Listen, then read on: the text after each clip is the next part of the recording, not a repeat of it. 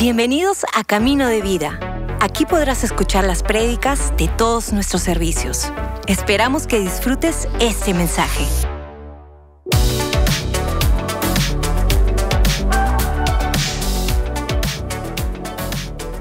Hoy día vamos a hablar de algo interesante. Hay poder en la palabra de Dios.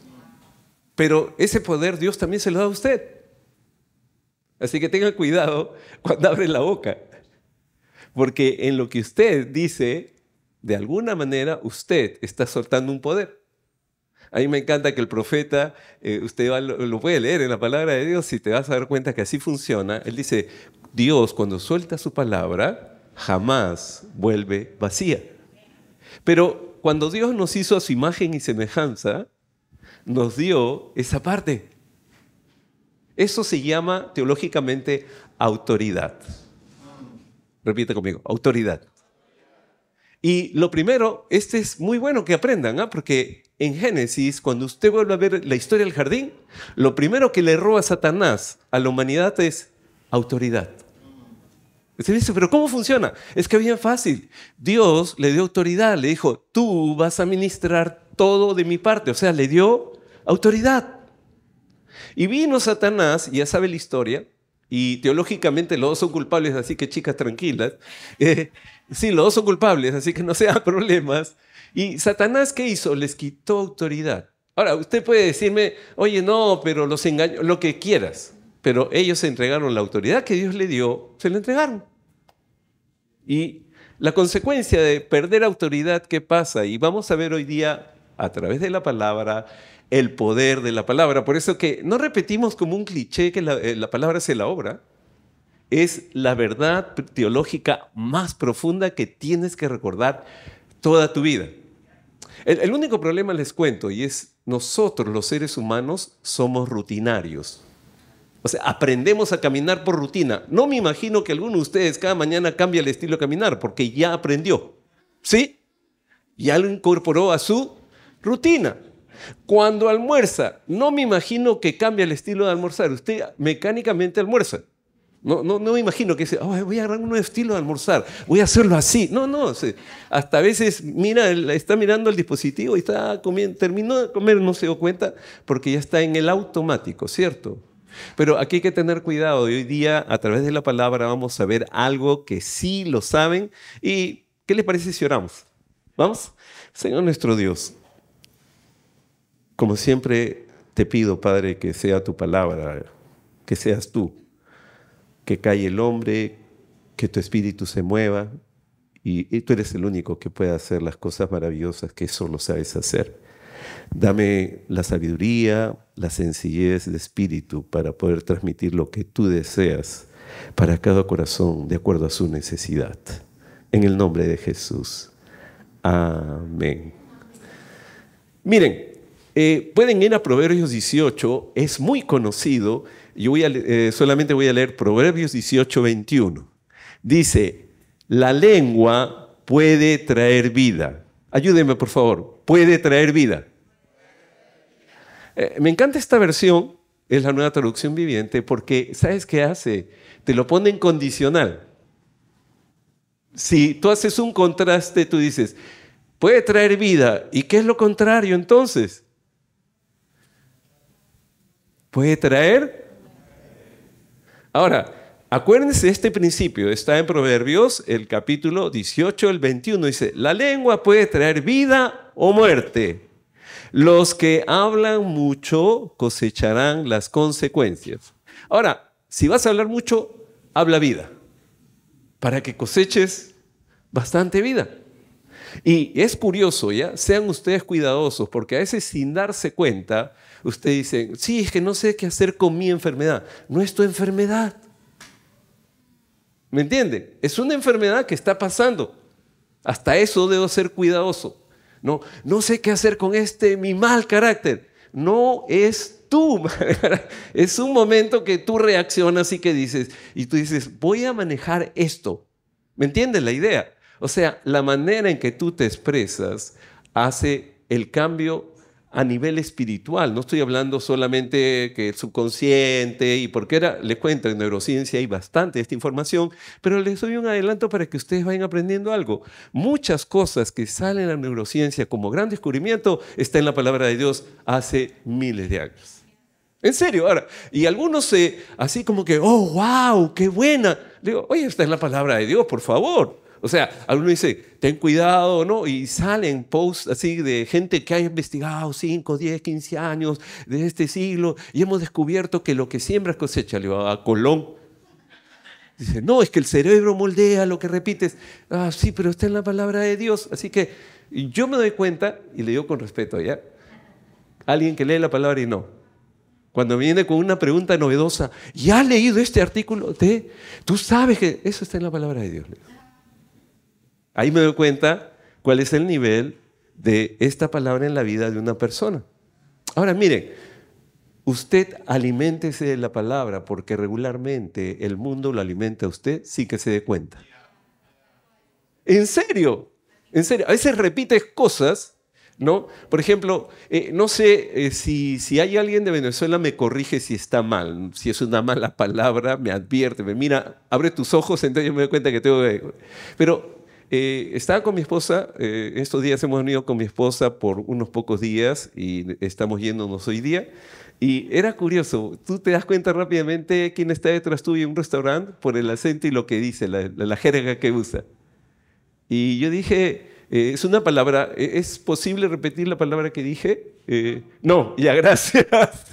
Pero inmediatamente, gracias. Pero escuché la palabra y le digo a mi esposa, esos son venezolanos, esos son chamos, le digo, ¿por qué? Porque ese término lo he escuchado muchas veces en Venezuela. Ah, me, dice, ¿me entiende? Y hay palabras que repetimos, por ejemplo, ¿eh? felizmente que aquí tengo mi, gracia, mi salvoconducto, eh, pero decimos palabras y a veces no nos damos cuenta. Verifica tú, eleva tu nivel de conciencia si lo que tú dices bendice o no porque en tu lengua está esa capacidad, dice Proverbios. Ahora, sabes, eh, la verdad es que tienes que recordar, si quieres anotar y ponerle título, ponle el poder de la palabra. Así como hay poder en la oración, hay poder en la palabra de Dios. Es el poder de Dios. Eh, yo les cuento algo, ¿ya? No sé cómo funcione en tu mente o cuál es tu, tu trasfondo, pero regularmente creemos que vamos a la iglesia, ¿ok? Vamos a la iglesia.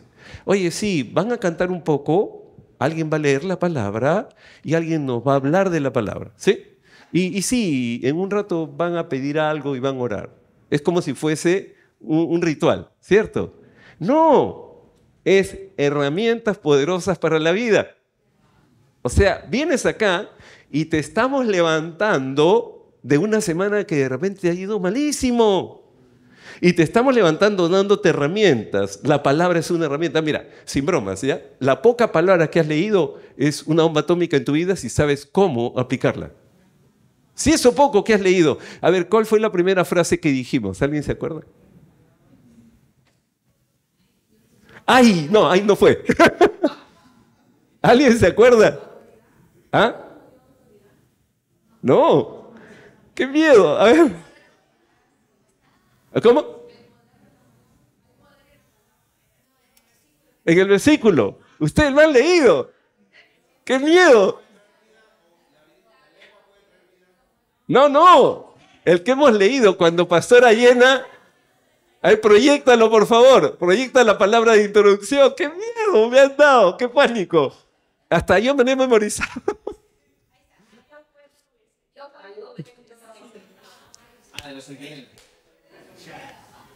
Por favor, si pueden anoten. Yo me le grababa fuego para llevármelo en mi corazón todo mi viaje de regreso. Es poder de Dios. No lo tomen por común, no lo tomen como parte de, ah, sí, ahora toca esto, ahora toca. Han declarado palabra a la hora de alabar. Y esa palabra ni cuenta se da, porque andamos algunos en automático, está alimentando mi espíritu. Y mi alma se levanta. Y a veces le va a pasar ya, oye, no sé, cuando voy a camino de vida aquí en Orlando, salgo y no sé por qué salgo animado. Yo sí sé. No es porque son simpáticos y lo son muchos de, los, de ustedes que están acá, sino porque el Espíritu de Dios lo llena. Está tanque vacío y ¡chuf! Sale y sale animado. Y de repente venía llorando, venía triste, que hay que tomar una decisión y de pronto Dios ¡chuf! le levanta el nivel. Pero no es porque aquí, miren, la iglesia es lo más lejos de motivar personas. Lo que hace, vamos a aprender con el poder de la palabra. Y para eso, por favor, vámonos a Mateo. Vamos a Mateo y en Mateo, en el capítulo 8 de Mateo hay una historia muy bonita que se lo voy a leer rápido porque necesito que tengamos todos contexto. Es una historia donde Jesús es el protagonista, ¿ok? Dice, cuando Jesús regresó, Mateo, perdón, capítulo 8, versículo 5 hacia adelante, ¿ok? Cuando Jesús regresó a Capernaum, un oficial romano se le acercó y le rogó, Señor, mi joven siervo está en cama paralizado y con terribles dolores. Escuchen esto que es poderosísimo. ¿ah? Iré a sanarlo, dijo Jesús. Si estás anotando, lo primero que Jesús hace en tu vida cuando entres es sanarte. Él quiere sanarte. Y por eso necesitamos de Jesús. Pero esa no es la parte importante. Dice, iré a sanarlo, dijo Jesús. Señor, dijo el oficial, no soy digno de que entres en mi casa tan solo pronuncia la palabra. ¿Qué dice? Tan solo... Escuchen, ¿ah? este es poderoso. A mí me encanta este, este, esta porción porque dice, pronuncia la palabra desde donde estés y mi siervo se sanará. Lo sé porque estoy bajo la autoridad de mis oficiales superiores y tengo autoridad. Repita conmigo, autoridad. autoridad. ¿Se acuerdan qué quitó Satanás en el inicio? Acuérdense que es súper importante. ¿ah? ¿eh? tengo autoridad sobre mis soldados, solo tengo que decir vayan y ellos van, o vengan y ellos vienen. Y si les digo a mis esclavos hagan esto, lo hacen. Al oírlo Jesús quedó asombrado, se dirigió a los que lo seguían y dijo, les digo la verdad, no he visto una fe como esta en todo Israel. Y les digo que muchos gentiles vendrán de todas partes del mundo, del oriente, del occidente, y se sentarán con Abraham, Isaac y Jacob en la fiesta del reino del cielo. Pero muchos israelitas, escuchen con cuidado esta parte, para quienes se preparó el reino, serán arrojados a la oscuridad de afuera, donde habrá llanto y rechinar de dientes. Entonces Jesús le dijo al oficial romano, vuelve a tu casa, debido a que creíste, ha sucedido. Y el joven siervo quedó sano en esa misma hora. Solo, estoy repitiendo, solo pronuncia la palabra. ¿Cuál fue la palabra que usó Pastor Allena en el inicio? ¿Cuál era la declaración inicial? Tú cuentas con el Señor. ¿Lo crees? Tú cuentas con el Señor. Cuando estoy en problemas, tú cuentas con el Señor. Cuando estoy en enfermedad, tú cuentas con el Señor. ¿Me entiendes? Cuando estoy pasando dificultades, tú cuentas con el Cuando no tengo trabajo, tú cuentas con el Señor. Cuando no tengo, tú cuentas con el Señor. El punto es si lo crees y lo repites y lo declaras constantemente. O si crees y repites no tengo trabajo, no tengo posibilidades, no tengo oportunidades, no tengo... entonces yo sé a quién estás orando. El poder de la palabra consiste en lo siguiente, soltamos lo que Dios dice respecto a nuestra verdadera, escúchame con cuidado, realidad. Mi realidad no es lo que sucede, sino lo que Dios declara sobre mi vida. Pero muchas veces vivimos más en lo que declaramos que lo que Dios dice. Ahora, ¿por qué? porque no tenemos la costumbre de buscar en la palabra de Dios. Porque sí, decimos, la palabra se la hora, sí, pero escucho el noticiero, eh, escucho cosas y seguramente ustedes también como yo, yo me conecté, llegué y empezó el, no sé si era debate o insultos, pero eh, eso que vieron por televisión. Y yo decía, qué manera tan mala de usar palabra de maldición uno contra otro. Es sorprendente que nosotros sin darnos cuenta también lo hacemos. Termina el debate y estaba abajo en el lobby del hotel esperando a, a Pastor Espedrillena que íbamos a salir y están sentados ahí un grupo de, americanos, ¿no? Eh, que habían venido a Disney porque yo estaba sentadito, no soy chimoso, pero estaba escuchando. Y, y estaban, estaban hablando y decían, sí, fíjate. Y, yo, no, yo sabía que eran republicanos. ¿Por qué creen que sabía que eran republicanos? ¿De quién hablaban mal? Era obvio. Y yo decía, estos morenos son... O sea, y escuchaba, escuchaba y decía, sí, y maldecían, no maldecían diciendo malas palabras, sino que es un viejo decrépito, que va a morir, que le va a dar un infarto. O sea, y, y decía, pobre, pobre Biden, o sea, puede que sea o no, pero cómo usas tu lengua trae vida o... Y a veces en la iglesia hacemos lo mismo. Pastor, ¿estás seguro que eso va a salir bien? Pastor, este, ore más, ¿ah? porque la verdad que creo que eso es de Satanás. O sea, usted mismo está invitando a su vida a aquel que no debe entrar con su palabra. Hay poder en la palabra de Dios, pero también hay poder en las palabras que tú repites. Asegúrate que sean las palabras de Dios. Pero ¿cómo vas a repetir el poder de la palabra de Dios si ni siquiera te acuerdas lo que acabas de leer? Y es una llamada de atención en súper buena onda, o sea, pero si ustedes se dan cuenta, es más fácil recordar, estoy seguro que les pregunto, de una serie de Netflix y hasta el episodio me cuentan lo que dijo y cómo lo dijo, y, te digo, 2 Corintios 5, 17. ¿Ah? ¿Ah? Se quedan así, ¿no? O sea, yo, yo soy bien malo, yo lo hago a propósito. En serio, yo digo, Gálatas 2.20, a ver quién sabe, ¿no? Entonces, no, todos así entran en pánico, algunos rápidos ven su celular, su iPhone, lo que sea. Pero, por lo con un único objetivo. Soy de la generación que memorizaba muchos versículos. Y me ayuda cualquier cantidad porque no necesito dispositivo móvil, no necesito nada, yo lo tengo. Eh, en el momento que estoy en el avión, eh, yo no, la verdad que más o menos, al único le tengo miedo y mi esposa mata las arañas, después no le tengo miedo a casi nada, no, y a mi esposa, a las dos le tengo miedo. Pero miedo reverente, es como al Señor, ¿no? Quiero que entienda algo y con esto vamos terminando. Autoridad, repita conmigo, autoridad. No le des la autoridad al diablo en tu vida. No, yo nunca, no. No es que cuando tú usas tu boca para declarar lo negativo. ¿De dónde sale lo negativo? ¿De dónde? ¿De dónde salen las enfermedades? ¿De dónde salen las desgracias? No sale del corazón de tu Dios. Y tú dices, no, esto es pasajero. Estamos pasando un problema. Y al estilo de Ruth, ¿se acuerdan de Ruth, la moabita? Sí, le dijo, tu Dios será mi Dios. No lo conocía. Era bien curioso. Usó su palabra para asegurarse bendición en su vida. Después, si han leído el libro de Ruth, sabe todo lo que sucede. Mujer muy, muy mosca, muy rápido, se dio cuenta algo. Dijo, yo no entiendo lo que pasa con Noemí, pero levantó su nivel de conciencia y dijo, tu Dios tiene que ser mi Dios. Ahora, si lee el pasaje va a descubrir algo. Lo que estaba usando Ruth era el poder de esa palabra, con la autoridad que da ese Dios tres términos que este pasaje que Jesús nos permite aprender para que lo usemos. Esta semana trate de recordar el episodio, por favor. ¿Sí? ¿Se acuerda? Proverbios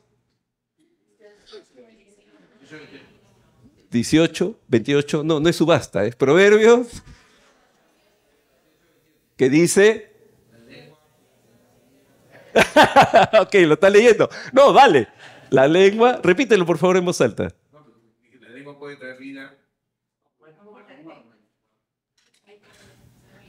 Y dice que depende de ti lo que vas a reproducir en cantidad. O lo bueno o lo malo. Y Jesús se acerca a un tipo que no era su discípulo, pero creía. Solo pronuncia la palabra, Señor. Yo sé que algo va a pasar. Si quieres que algo pase sobre tu vida, no pronuncies el problema, no pronuncies la enfermedad, pronuncia palabra de Dios sobre tu vida, sobre tu esposa, sobre tu trabajo, sobre tu oportunidad, sobre tu negocio. Y tú dices, ¿y todo cambia automáticamente? No, lo que cambia es tu corazón y tu perspectiva, porque te unes a Dios de una manera tan sórdida que pases por infierno, pases por la oscuridad, pases por cualquier sitio, te mantienes firme en la palabra de Dios. No, escúchame esto, no en lo que está pasando. Porque hay, recuerda, estos tres términos, autoridad de Dios, poder de Dios y sanidad de Dios. Y tú me dices, no, pero yo no estoy enfermo. No, es que cuando uno tiene malos pensamientos está sano. De la cabeza no está sano. Y Dios te sana todo eso. Y cuando empieza el proceso, no te vuelves un optimista motivador, sino te vuelves una persona realista, porque sabes que Dios está contigo donde quiera que vayas. La autoridad de Dios, el poder de Dios y la sanidad de Dios a tu disposición. ¿Cómo? Con esta palabra. Mira, trae vida. El poder de la palabra está disponible para cada uno de nosotros. Hoy día has tenido tres, así claritas, tres porciones de escritura. Una mostrada acá y dos que te acabo de dar. Repásalas, repítelas, medítalas. ¿Por qué? Autoridad, repite conmigo, autoridad, poder, sanidad va a ver la diferencia en su vida. Vamos a orar. Señor nuestro Dios, yo te doy gracias por tu palabra y por tan hermosa gente en este lugar, Padre. Y te doy gracias también porque sabemos que tu palabra, aunque a veces no nos damos cuenta, hace la obra. Y Señor, queremos sinceramente siempre descansar y creer que tu palabra no tiene autoridad, es autoridad. Tu palabra no tiene poder, es poder. Tu palabra no, no, no trae sanidad, es sanidad, Señor. Por lo tanto, que nos alimentemos de tu palabra para traer sanidad constante a nuestra vida, a nuestro entorno, a nuestra familia. Sí, Padre para que con ese poder tuyo tengamos la autoridad de enfrentar situaciones que parecen imposibles para el hombre, pero para ti no hay nada imposible. Y tal vez, mira, así con los ojos cerrados para que no te distraigas, tal vez hoy día has llegado y la rutina te atrapó y has venido todo enredada, enredado, con dudas, con preocupaciones, tal vez con alguna urgencia, una necesidad y te olvidaste de este principio. Yo, yo lo único que te puedo recomendar es vuelve a la palabra de Dios. Cree en Él a través de su palabra, declárala en tu vida. Tal vez tu relación pasó por un tiempo de rutina y como toda relación que entra en rutina se puede quebrar y has vuelto y como aquel viajero en el desierto encontraste un poco de agua y tiene un valor este es el momento de empezar a hacer pozos en tu vida con la palabra de Dios para que te refresques diariamente en una relación hermosa con Cristo Jesús. Y tal vez, solo tal vez, nunca hiciste una decisión, de repente asistías o asistes a una iglesia y nunca hiciste una decisión sincera de decirle a Cristo, Señor, sé el Señor de mi vida. Yo quiero que tu palabra esté en mí siempre, sea cual sea tu razón. Yo voy a hacer una brevísima oración de confirmación, de eh, afirmación en nuestra fe. Y si deseas acompañarme, solamente tienes que hacerlo con voz queda, baja o con tus propias palabras, ¿sí? Señor Jesús, en esta mañana yo te doy gracias y te pido que tu palabra siga siendo la obra en mi vida. Creo en ti, creo en tu palabra, creo en el poder que tú traes, Señor, a mi vida. Y te pido, Señor, que mi relación contigo se fortalezca cada día más, porque te necesito, te necesitaré siempre.